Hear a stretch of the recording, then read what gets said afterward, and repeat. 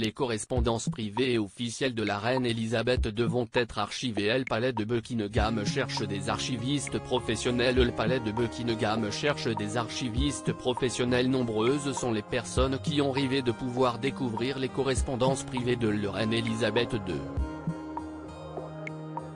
Et pour certains, ce rêve est en passe de devenir réalité.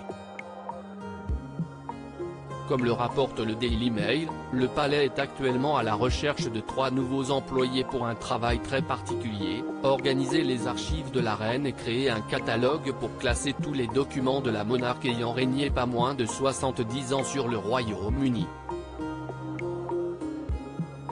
Le projet sera supervisé par un archiviste conservateur qui élira résidence au palais de Windsor pendant deux ans, entre mai 2023 et mai 2025, pour trier et archiver non seulement les documents d'Elisabeth II mais aussi ceux de son mari, le duc d'Édimbourg.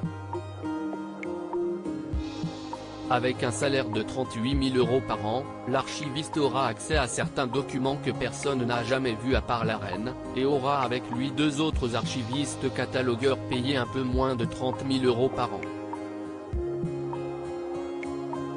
Si l'un des catalogueurs en charge de la bibliothèque ne sera là, comme le conservateur, que pour deux ans, le catalogueur d'archives aura quant à lui un rôle permanent au sein des affaires de la famille royale. Il faut dire que de nombreux documents ont été accumulés au fil des ans, qu'il s'agisse de lettres privées de la reine ou de dossiers plus officiels.